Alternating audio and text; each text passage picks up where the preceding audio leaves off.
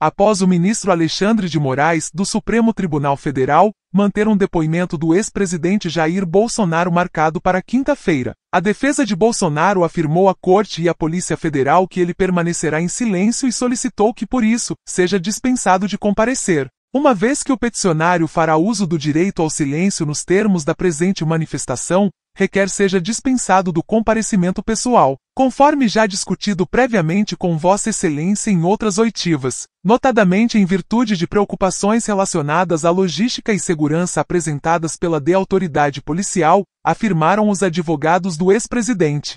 A petição é endereçada ao delegado da PF Fábio Alvarez Chor, responsável pela investigação, mas também foi protocolada no STF. Bolsonaro foi intimado pela PF a prestar depoimento na quinta-feira, em Brasília, sobre um suposto plano de golpe de Estado. De acordo com as investigações, o ex-presidente teria recebido, analisado e alterado uma minuta de decreto golpista em dezembro de 2022. Na segunda-feira, a defesa do ex-presidente afirmou que ele não iria prestar depoimento enquanto não tivesse acesso ao conteúdo de celulares apreendidos em investigações contra ele e aliados. Os advogados também solicitaram acesso à delação premiada do tenente-coronel Mauro Cid.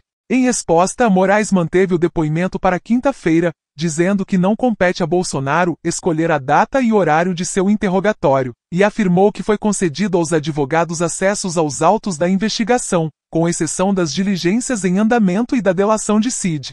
Na petição desta terça-feira, a defesa afirma que em momento algum Bolsonaro quis decidir pela possibilidade ou não da realização da oitiva, tampouco pretendia escolher data e horário específico, os advogados afirmam que o acesso concedido na segunda-feira é insuficiente porque eles teriam apenas dois dias para a leitura dos autos.